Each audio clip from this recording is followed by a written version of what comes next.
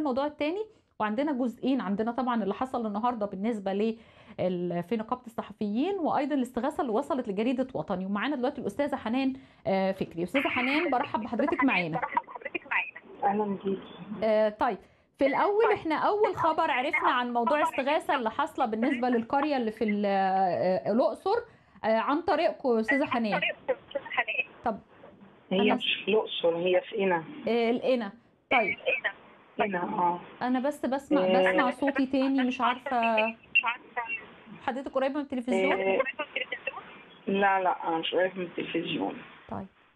آه، آه، بصي هي القرية دي النجع ده اسمه نجع سالم. آه. في قرية آه، في قرية الصمته تبع دشنا قنا نجع حمادي قنا الصمتة نجا حماد دشنا نجا حمادي قنا آه ال ال أنا جبت طبعا الكلام ده من التقسيم الإداري هم ما قالوليش الكلام ده اللي حصل من حوالي 10 أيام تقريبا حد اتصل بيا. آه، أنا بعمل باب اسمه افتح قلبك آه، لمساعدة آه، الناس. آه، يعني بنت عايزه تتجوز حد محتاج علاج كده آه، الباب باب إنساني أي والتليفون منشور وأي حد بيتصل بيا برد عليه فاتصل بيا واحد. وقال لي إن هو اسمه اسحاق. وإن في حد كفيف هو وأسرته كلها سبع مكفوفين هو وزوجته وأولاده الخمسة وإن هم آه، محتاجين حد يرعاهم حد يعني آه، يشوف علاجهم وكده. وإن في ثمان أسر تاني في النجع ثمان أسر مسيحية. وإن هم ما عندهمش كنيسة وإن هم ما يقدروش يروحوا كنيسة ومحدش يعرف عنهم أي حاجة وبيستغيثوا آه، بينا كمان. آه، حد دخل على الراجل وهو بيتكلم وخد التليفون منه قال إن هو العمدة وبدأ يتهددنا ويتوعدنا وأنتوا عايزين تيجوا تعملوا كنيسة هنا أنا جه واحد قبل كده وعمل لي مشاكل ده نجع إسلامي آه، ما هينفعش يتعمل فيه كنيسة. طبعا حاولت أفهمه بكل الطرق إن إحنا مش عايزين نعمل كنيسة قال لي أنت تبع الكنيسة. مش بتضحكي علينا. قلت له لا أنا مش تبع الكنيسة أنا تبع الكنيسة هقول لك أنا تبع الكنيسة. أنا صحفية. ما فيش فايدة حاولت أفهمه كتير كلمته أكتر من مرة آه، لما قفل السكة. فما ما ما حبش إن هو يفهم يعني. آه، المهم فاستنيت آه، وقال لي إن هو هيأدب اللي اتكلم. استنيت تاني يوم اتصلت اطمن على الراجل. لقيته هو برضو اللي بيرد وقال إنه اخذ منه التليفون. وقال. إن هو العمدة عمدة نجا سالم وإن اسمه محمد مسلم. بس أنا لما دخلت على النت وقعدت أعمل سيرش لقيت إن العمدة ما اسمهوش كده أنا مش عارفة يعني. وقعد يهددني ويقول لي أنا كل العيلة مستشارين وإحنا كل ما عرفنا أوضة ومستشارين وأنتوا عايزه تيجي تثبتي ذاتك وتعالي وأنا مدير الأمن نفسه ما يقدرش يدخل هنا إلا بإذني ما ينفعش حد يجي هنا ما ينفعش حد يجي يعمل كنيسة. طب وهو مصر إن ده كده معناه إن إحنا هنعمل كنيسة. فأنا حاولت بكل الطرق إني يعني أقول له يعني ما يأذيش الناس. وهددته إن أنا هقدم بلاغات وإني هبلغ الجيش والشرطة علشان يشوفوا الموضوع ده. يعني ما ما ارتدعش. فلقيت إن أنا ما فيش حل قدامي غير إني أنشر. فنشرت الموضوع. على جريدة وطني في أيوة. الباب اللي أنا بعمله. وقلت فيه إن أنا كنت شاكة إن دي اشتغالة في الأول أو حد بيعاكس أو أي حاجة حد بيضحك عليا. أيوه. لكن الحقيقة لما رجعت قريت نفس الموضوع تاني اللي أنا كاتباه لقيت إن عم اسحاق اللي هو كلمني ده اداني اسم الراجل الكفيف الثلاثي. آه، أيوه هو اسمه آه، حنا بنيامين يوسف. وده اللي خلاني أرجع أقول لأ كده يبقى إيه صعب إن يكون آه، يعني حد بيعاكس. آه، المهم فنشرت بعد ما نشرت حطيت الموضوع على الفيسبوك عمل تشير عالي. بدأ الصحفيين يكلموني والقنوات. طبعا أنا ما قدرتش أدي رقم الراجل لأي حد لأني ما عنديش ثقة في إن التليفون ده بعد كده يتقفل ما نعرفش نوصل لأن هو ده الحاجة الوحيدة اللي معايا. آه، حاولت آه، إن أنا أوصل بأي طريقة. الأنبا كرولوس عرف بالموضوع وقال إن الموضوع مش تبعه تبع الأنبا تاكله آه. كلمت زملائنا ما كانش معايا رقم الانبا تاكله كلمت زملائنا في CTV آه، زميلتنا عبير فؤاد آه، اتكرمت واتصلت بالانبا تاكله وقال لها إنه مش تبعه. أنا مش عارفة إزاي مش تبعه. الله. وهو أمال تبع مين كده؟ الصامتة هو قرية الصامتة يا ستي تبع دشنا طب دشنا تبع تبع مين؟ دشنا. تبع أي اسقف تبع الانبا تاكله طبعا. طيب آه، الجانب إن هل ما حضرتك ما قدرتيش علم برضو؟ وما يعرفوش. أستاذة حنان التواصل مع الأمن بقى. ما هو أنا كلمت حد من الأمن بشكل ودي آه. قال لي إن هو هيستعلم ويرجع لي لكن لغاية دلوقتي ما رجعليش. وأنا ما عملتش الإجراء ده غير من ساعتين بس. تمام. لما بدأت إن أنا أقلق لأن الراجل كان نبرته فيها تهديد ليا أنا. فبصراحه بدأت أقلق ولقيت في مواقع تانية بدأت تاخد الموضوع وتنشره. آه، وما نسبتهوش حتى لينا في وطني لا هو الفكرة المشكلة بقى إن المواقع اللي نشرت الموضوع نشرته بشكل الأو على إنه واقع وحقيقة وإنه الحق وإن المسيحيين بيتجلدوا وإن صوره للجلد ولقيت برضو كمان ناس بيقولوا لي يا دكتورة اتكلمي على الموضوع ده أرجوكي وشوفي إيه اللي بيحصل لأهالينا في آه، في قرية نجع سالم ف, ف يعني إحنا بقى بنعول على حضرتك يعني بشكل كبير إنه إن شاء الله يعني هنتابع معاكي لغاية التحقق ونشوف إذا كان بالفعل هذا يحدث يعني لأهالينا في نجع سالم آه، يجب إنقاذ الموقف يعني. ف ما هو في حاجة مهمة بس أنا عايزة أقولها لك آه. آه. فتك في الكلام إن آه، هم الراجل قال إن هم جلدوا الشخص اللي راح لهم من ثلاث سنين من الكنيسة علشان يصلي بيهم أو يعرف أخبارهم افتقادي يعني. أيوه. جلدوه لما راح لهم. وإن هو وهو قاعد يقول لي أنا هأدبهم أنا هجلدهم أنتوا بتجلدهم؟ فالراجل اعترف حتى في المكالمة إن هو آه بيعمل ده. ف آه، إن هم دول ده واحد كلاف كلاف عنده وهو عادي يعني ان يأدبه.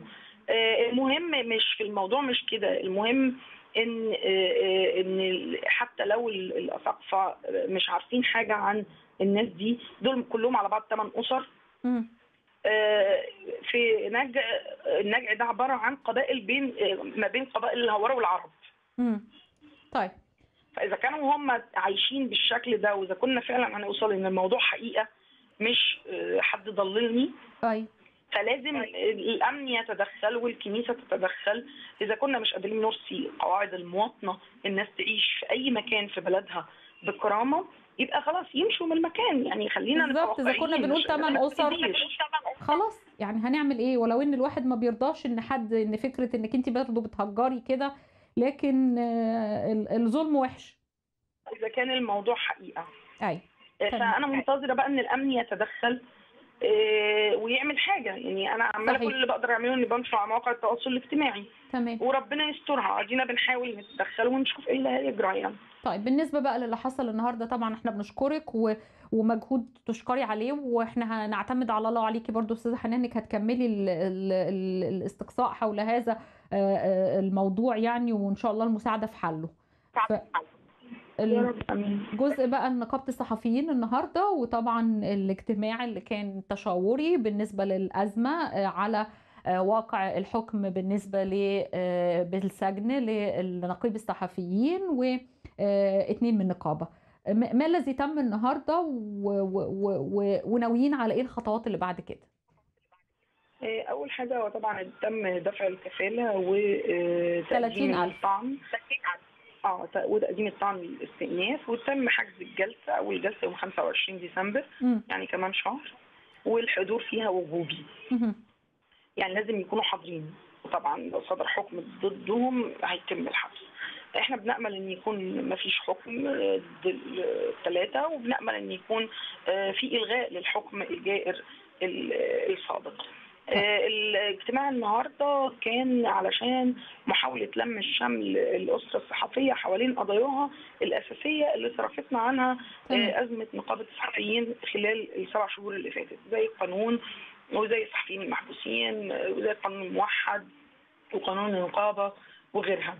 آه، تم تشكيل ثلاث لجان لكل حاجة لجنة من ضمن الحاجات دي آه، الأزمة اللي إحنا فيها وإزاي نقدر نخرج منها خاصة بعد إن في بوادر إن إن النقيب يبدو إن هو يعني بيتراجع عن التصعيد أو إن هو ما عندوش أي نية للتصعيد. ودي حاجة آه، يعني بنقول إن الدولة المفروض تلتقطها بقى ويبقى حد هدى من هنا وحد يهدي من الناحية الثانية على آه، خلفية آه، سياسية مش خلفية قانونية. لأن الموضوع في أصله كان موضوع سياسي ونتج عن عدم موائمة سياسية من عناصر الداخلية اللي دخلت النقابة بدون أو بخلاف القانون. هو النهارده طبعا كان في تعليق للرئيس السيسي في الحوار اللي كان مع آه، إحدى ال- ال- المواقع البرتغالية أو التلفزيون البرتغالي يعني وإنه لما سألوه عن الموضوع الخاص بنقيب الصحفيين لأنه بالتأكيد آثار قلق حوالين العالم كله هو قال ان هو دي مش قضية رأي وإن دي قضية جنائية. ف برضه هنا آه، يعني كيف يمكن الرد على النقطة دي؟ وبرضه الكل اللي بيقول إنها قضية جنائية وليست قضية رأي. لا الرد على النقطة دي رد سهل جدا جدا بس لازم الأول نبقى متفقين على حاجة. هل الرئيس السيسي لما اتكلم للتلفزيون البرتغالي اتكلم التلفزيون البرتغالي وقال التصريح ده علشان هو بيتكلم بره ولا هو كان بيبعث رسالة إلى الداخل. يعني دي حاجة مهمة جدا لو رسالة إلى الداخل أنا أعتقد إنها جت في غير وقتها وغير محلها لأن إحنا المفروض بنلم ما بنفتحش والمفروض إن إحنا بنحاول نحل الموضوع ونحل الأزمة مش بنصعدها من أي طرف من الأطراف زي ما إحنا بنحاول نهدي المفروض إن النظام يحاول يهدي. خاصة إن الداخلية ارتكبت خطأ فادح بشهادة آه، يعني خبراء في الأمن سابقين آه، زي اللي هو فؤاد علام. آه، أما إذا كان هو يعني مقتنع وهذه قناعه داخلية فخلاص يبقى الموضوع في إيد القضاء.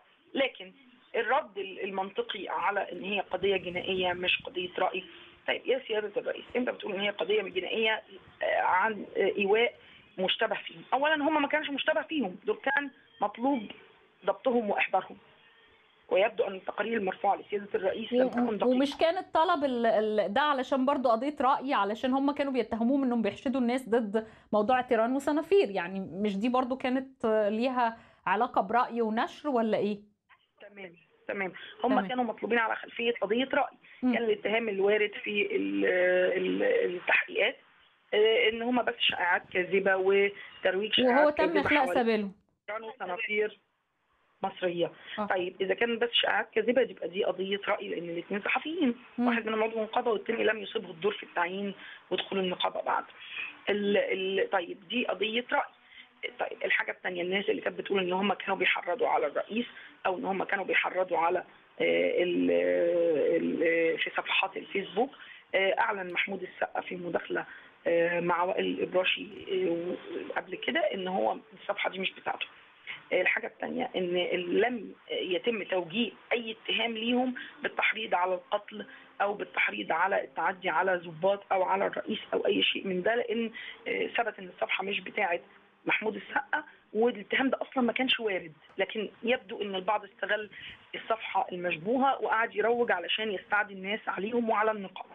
إذا تمام القضية أصلا في أصلها كانت قضية تيران وصنافير وقضية رأي وتظاهر وحاجات أصلا كلها يعني على خلفية لموضوع تم الحكم فيه إن تيران وصنافير مصرية.